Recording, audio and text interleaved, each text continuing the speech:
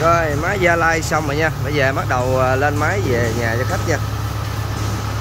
Hoàn chỉnh hết toàn bộ rồi.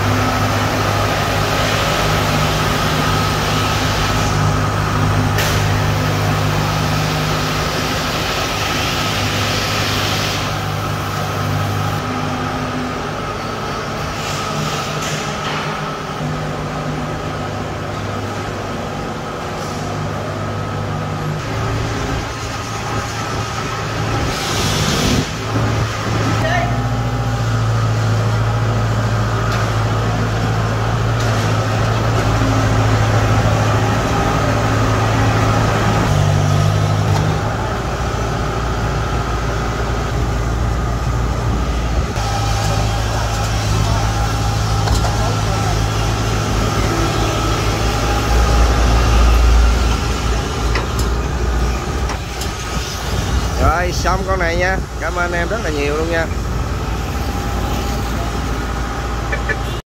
Rồi chào anh em buổi sáng. Đây là một cái máy em mới nhận hợp đồng đi gia lai ha. Là kiểm tra điện với này nọ một số thứ thôi.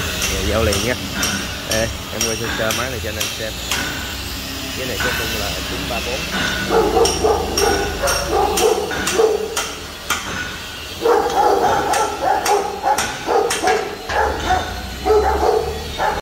đây máy này thì khách đang sơn dặm xíu nha anh em. Máy này hộp số em cũng ờ, mở ra đi làm rồi. Chắc uh, mai mới xong. Rồi máy gia lai giờ em đã xong rồi nha. Máy gia lai đây nha anh em. Đang bảo dưỡng gần xong rồi. Hộp số cũng đang ráp lại ha.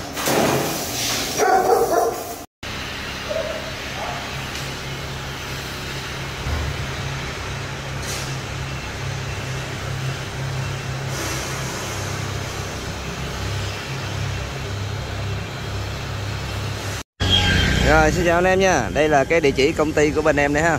Đó 167 quốc lộ 53 Long Hồ Vĩnh Long ha. Thì à, phía bên đây là phía bệnh viện Đa khoa tỉnh Vĩnh Long. Đây là con đường quốc lộ 53 đây ha. Đây. Cho anh em dễ nhận diện nha.